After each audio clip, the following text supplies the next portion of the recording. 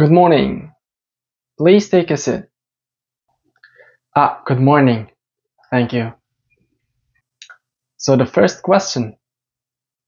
How many people died in car accidents in England, let's say in 2020? How many people died? Uh, I don't know. Who invented the light bulb? Ah, I know this one. Uh, Edison. Thomas Edison. Who invented the telephone? Uh, Bell. Uh, Ale Alexander Bell. Hmm. What is my favorite color? What? What is your favorite color? What the? I don't know. If you don't know the answer to the question, you might say something like this. To be honest, I'm not really sure, but I think. Or you might say, uh, I don't really know the answer, however, I believe or I guess.